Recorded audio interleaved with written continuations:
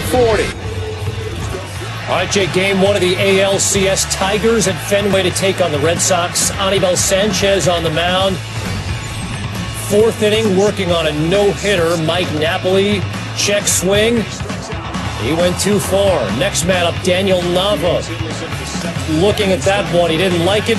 It was something of a theme in this game. Next batter, Stephen Drew. He didn't like the fact that he swung at that. Sanchez struck out the side, nine Ks through four innings. Sixth inning, runners on the corners, two outs, Jhonny Peralta. Who knew at that point in the game that would be such a big run? Singles and Miggy. Tigers a 1 0 lead. Bottom six, Red Sox the man on second.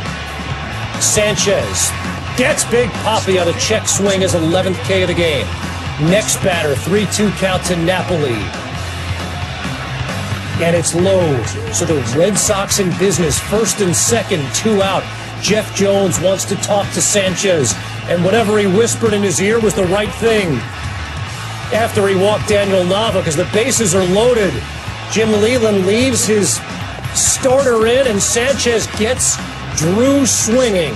Six innings, 12 Ks, six walks, no hits. Red Sox still didn't have a hit into the eighth inning.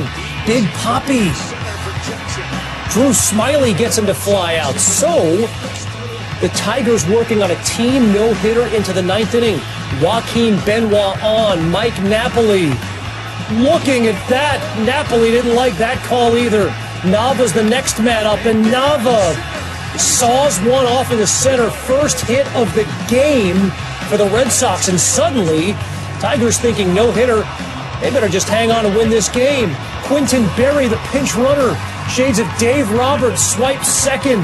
So now the tying run is on second base with two out. Xander Bogaerts. The rookie pops it up. Detroit hangs on. What an unbelievable team pitching performance. They take game one and home field.